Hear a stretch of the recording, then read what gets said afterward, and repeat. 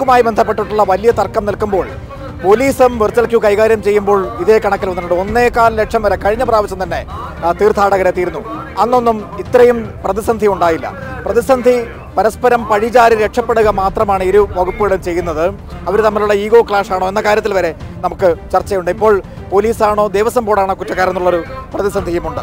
ഏതായാലും എരുമേലിയിൽ സ്ഥിതിഗതികൾ അല്പം മെച്ചപ്പെട്ടിട്ടുണ്ട് എന്നാണ് മനസ്സിലാക്കാൻ കഴിയുന്നത്. ശ്യാംകുമാർ ചേരുന്നു. ശ്യാം എന്താണ് ഇപ്പോൾ അവിടുത്തെ തീർത്ഥാടകർ പറയുന്നത്? എന്താണ് അവിടുത്തെ ഒരു സ്ഥിതി?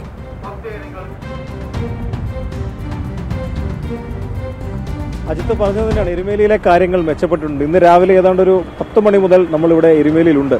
രാവിലെ കൊരട്ടി പാലം കടന്ന് എരുമേലി ടൗണിലേക്ക് എത്താൻ വേണ്ടി ഞങ്ങൾക്ക് തന്നെ വേണ്ടി വന്ന ഏതാണ്ട് ഒരു ഒരു മണിക്കൂറായിരുന്നു. അത്രമാത്രം വലിയൊരു ഗതാഗത കുരുക്കായിരുന്നു എരുമേലിയിൽ ഉണ്ടായിരുന്നത് പക്ഷേ ഇപ്പോൾ ഉച്ചയ്ക്ക് ശേഷം സ്ഥിതിഗതി പാടെ മാറിയിരിക്കുന്നു. തീരെ തിരക്കില്ലാത്ത ഒരു അവസ്ഥ തന്നെയാണ് എരുമേലിയിലുള്ളത്.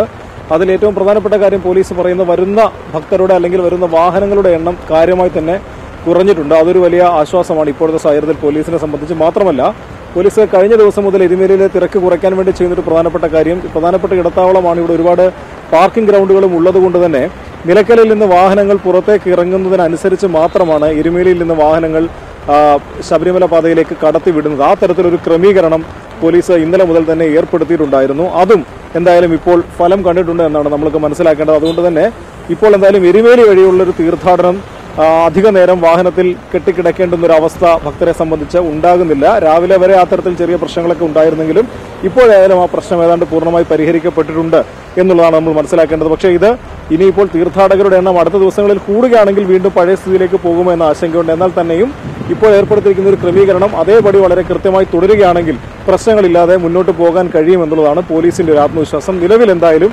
എരുമേലിയിലെ സ്ഥിതി ഭക്തരെ സംബന്ധിച്ച് വളരെ ആശ്വാസകരം തന്നെയാണ്. അജിത്ത്.